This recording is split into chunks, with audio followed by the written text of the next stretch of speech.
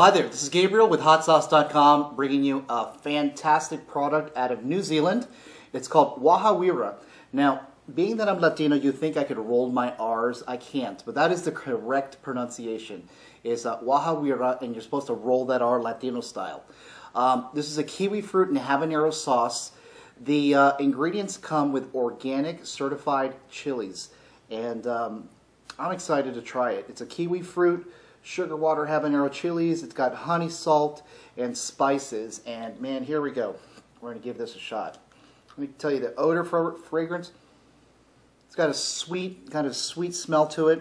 Um, I'm going to use a nice, very plain uh, stone ground cracker.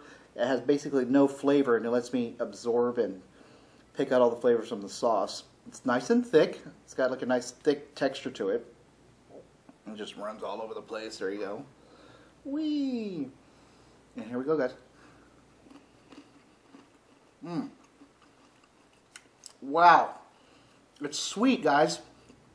Oh. Listen, we're going from a small cracker to a big cracker.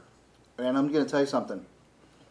This stuff right here is good, man. You can make a sandwich out of that, like an Oreo cookie. This is great stuff. Heat factor, 2. Delicious factor, 10. Waha Wera on hotsauce.com.